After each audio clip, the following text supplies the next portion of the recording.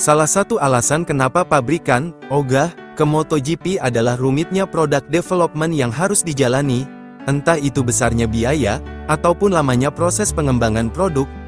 Tapi, ada jalan pintas yang bisa dilalui untuk melewati proses development, yakni dengan membeli data dari pabrikan lain yang sudah gulung tikar.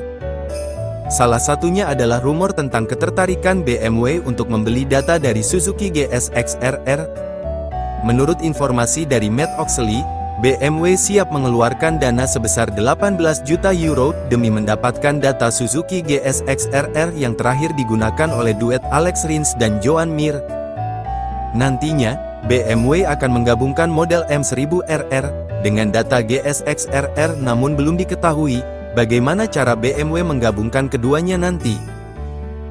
Apa pendapat Anda? Coba tulis di kolom komentar di bawah.